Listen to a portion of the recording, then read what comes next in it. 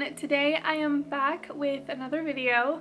Today's video I'm going to be talking about all of the baby names that we loved or more so I loved um, but we won't be using at least not for this baby. We might use it in the future if we ever decide to have another baby and it's a girl. Um, I'm just going to be going over the girl names. If you guys want my list for boy names let me know and I'll do that video.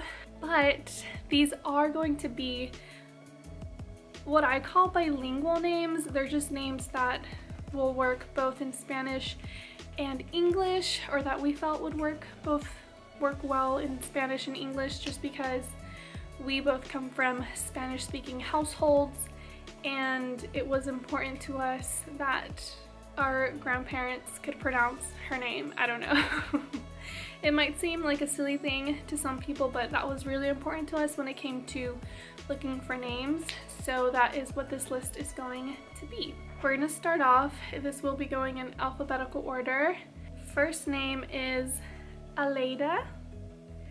Um, I can't remember where I heard this name, but I just really liked it. I liked the flow. Alimar is another name that I think we kind of made up, I'm not sure.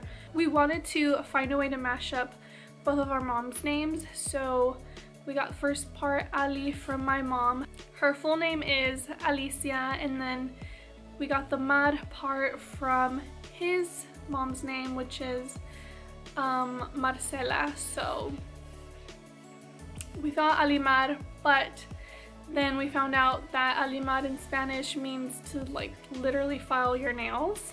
So that's why we did not go with that after all. Next name that we have is Amada, which means loved in Spanish. We just felt that in the end it just didn't go with our vibe. I don't know. Choosing a name is so like based off instinct and emotion and like what you feel when you say that name. Um, so I feel like there's like no logical reason why none of these names were picked. Yeah, it just came down to it just didn't feel right for us. Right, Bean?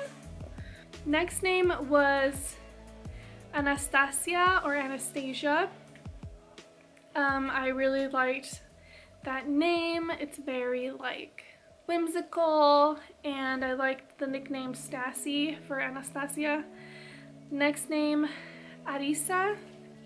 Also don't know where we got that name from, but it's a really pretty name that you don't see very often.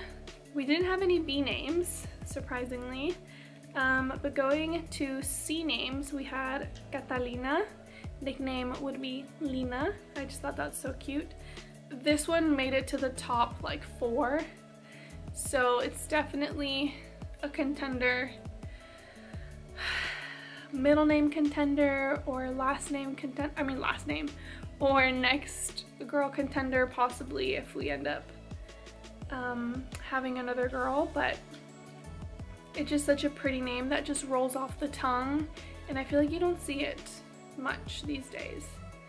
Next name is Charlie. I really like Charlie. I think Charlie is so cute, spelled with an I. and then I had Charlotte but that didn't really work in Spanish. I just felt like it was just a mouthful, so I think that's when we shortened that to Charlie, which is why we have Charlie and not Charlotte. Next name was Dahlia.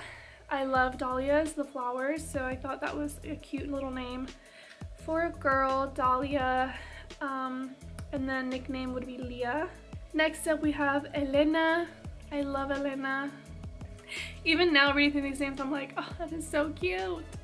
Then we have Ellie, just Ellie, but I don't know, I felt like she couldn't really grow up with that name. I wanted something that was good for when they're small, you can attach a really cute nickname to it and then, but still be like a mature, powerful name for when they get older.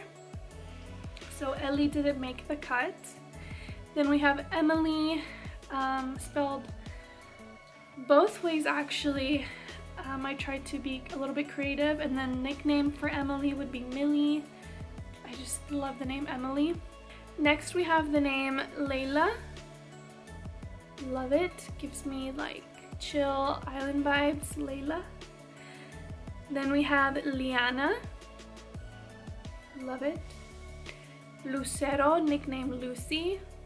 I love the name Lucero. Or Lucy. And then we have Lucia, which is essentially Lucy. and then we have my grandmother's name, which is Marina. I love her name. It's just like, I've just always loved my grandmother's name. It's so pretty and I feel like you don't, I don't, I've never met another Marina, never seen another Marina. I just love it. It's so pretty. Um, next we have Marzia, which is a little bit different, but I have always really liked that name. Then we have Mila, which is actually like super popular now, but I still, it's still on my list because I, I still personally like it, and I'm not really one to find or want a unique name just for the sake of it being unique. If I like it, if it fits my baby's vibe, then I'm gonna use it. Like, I don't really care but yeah, Mila. Next we have Milena, nickname Millie or Lenny. Next one is Nia. I really like that name, Nia. I like short names. Next we had Nora. I really like the name Nora. I feel like I'm saying that for every single one of these names. I am so sorry if you have to listen to me say I really like it after every single name, obviously. I really like the these names because they're on my list. But yeah, I'm just, I don't know what else to say besides I really like that name. Next up we have the name Remy. And then right after Remy we had Romy, which I don't know where I got this one. Sometimes like I'm looking at these names and I'm like, where did I find this name? Because it's such a random name, Romy. Then we have Rosanna, Rosanna. And then we have Rose, and we would call her Rosita. I'm very big on nicknames, if you couldn't tell. I have like planned nicknames for everything. Getting towards the end now, we have Serena. Love that name, Serena. Then we have Stella, which in Spanish I guess would be Estela. Really liked it. It's very like star oriented. Um, so it's a really, really pretty name, Stella, Estela. Last but not least, Vera, which I don't know where I got that. Maybe I got it like from Vera Bradley or Vera Wang. But in Spanish it would be Vera. And I just feel like it was too weird in Spanish. So I think that's probably why we didn't go for that one. But that was my whole list of baby girl names from A to Z that we will not be using, at least not for this baby. Um, we will, or I will obviously announce the name after we tell her her name and see if she likes it. And that would probably be on my Instagram, so if you're not following me there, go ahead and do so. The username is just AnahiDiazX on Instagram. But yeah, that is it for this video. I hope you guys enjoyed it and found it fun. If you guys want me to do a boy name version, please let me know. I will be more than happy to do so. I don't mind sharing like potential baby names. I think it's fun to look at all the different names that people are thinking and all the different reasons behind um, the vibe that they're kind of going towards. So I think it's fun, but that's it for this video. Hope you guys enjoyed it, and I will see you in my next one. Bye!